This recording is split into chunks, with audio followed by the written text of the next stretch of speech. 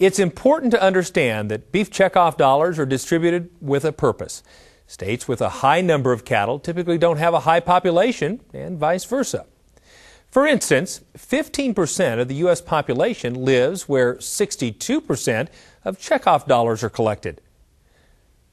28% of the U.S. population lives where 7% of those dollars are collected. And following up on that, there are more cattle, a lot more cattle than there are people in Wyoming. How does the Federation account for that? Kevin, you're exactly right. We have in Wyoming two and a half times more cattle than people.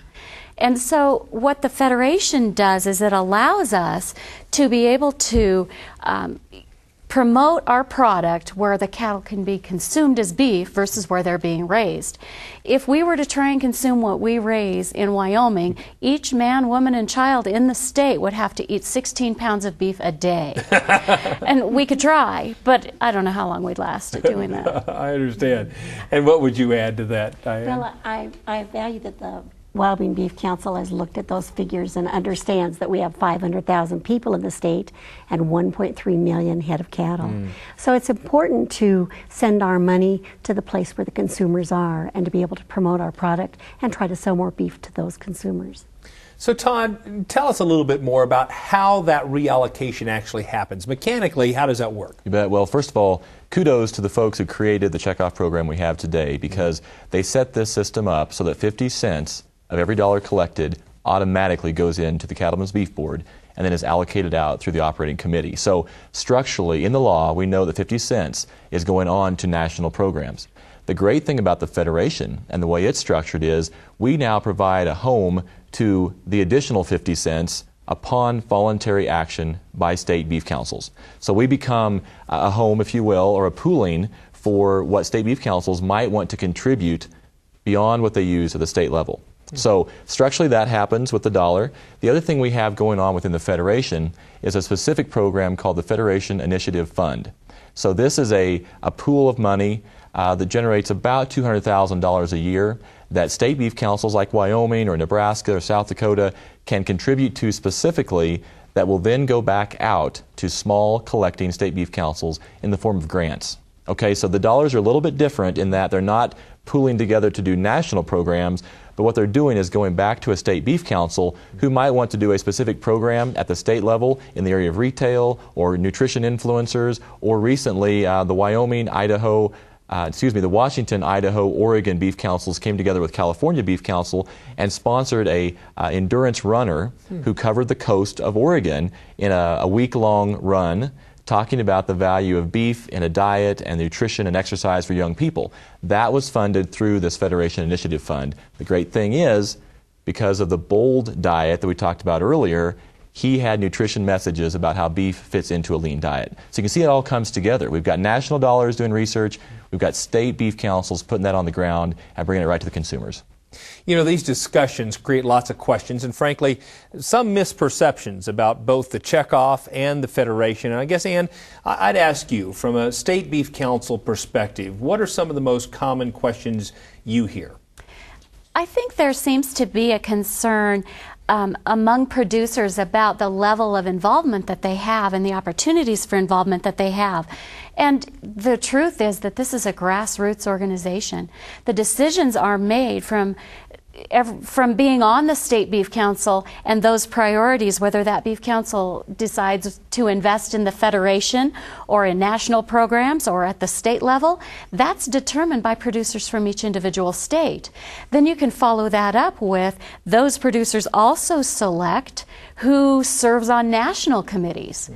And from those national committees, then so selections are made for further leadership, including those who serve on the Beef Promotion Operating Committee. In addition, you have producers who are evaluating those programs in the end.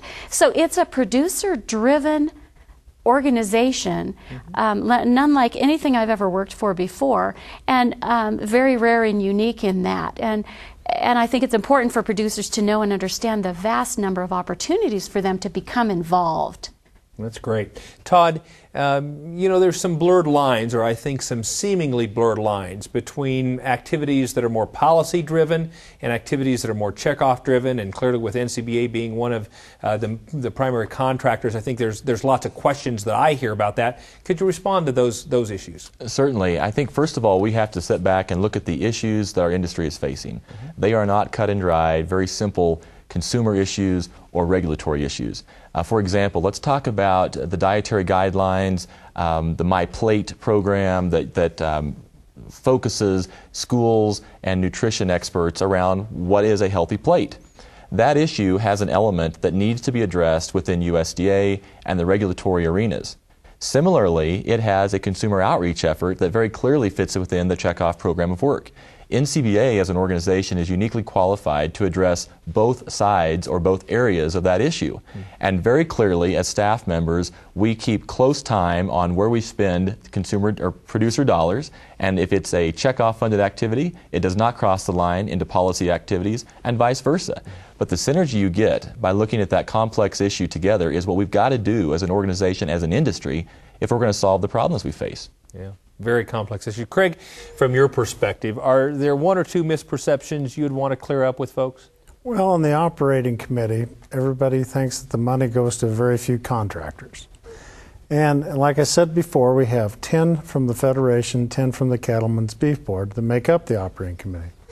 We have we have planning process and we go through meetings throughout the year. We normally have three meetings. In the fall, uh, this fall in September, we'll decide the two, the 2013 plan of attack that's developed by uh, uh, these joint committees and, and proposed on, on, all different levels. Uh, there's actually 45 to 50 eligible contractors out there. Really? That they're, they're, they're open to come and present uh, an authorization request for a program hmm. that would benefit the industry. And uh, those folks bring them in there. It's a cost recovery system. I want to make that perfectly clear. It's cost recovery. So you have to align with the plan, and then you have to carry out the work, and then you get paid for afterwards. Mm.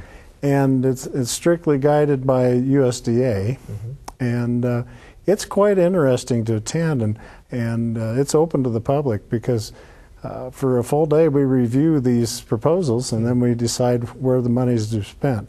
It's a huge responsibility. We owe it to our, our producers that pay the dollar. Mm-hmm. And we take this job very, very seriously. Yeah, I'm sure you do. Diane, we were talking earlier about some of the phone calls you field from uh, producers in Wyoming. Uh, what are some common questions and misperceptions you hear from some of the folks in your state?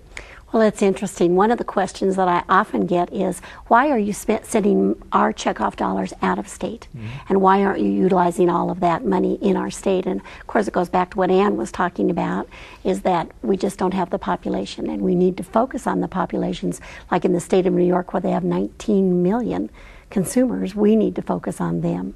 So I, I hope we can help our locals understand that. One of the other questions I think is interesting is people often ask, what happened to that, those beef, what's for dinner? TV advertisements because mm-hmm. people love those and it was a great way to, to focus on our product. And truly what happened in a situation like that is that we went through the committee system and the committees analyzed how our money was being spent and what they would recommend that the money go towards. And it's a tough decision, but it's grassroots uh, cattle people that are making those decisions in the committees. They make the recommendations to the beef operating committee, and the beef operating committee is the one that makes those decisions.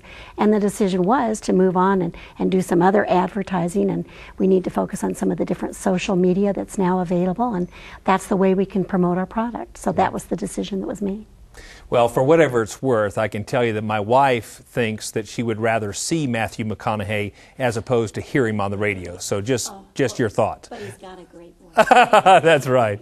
Well, this has been a very insightful conversation. Thanks for clearing up some of those issues. There's still more to come on the Federation of State Beef Councils. We'll be right back. Stay with us.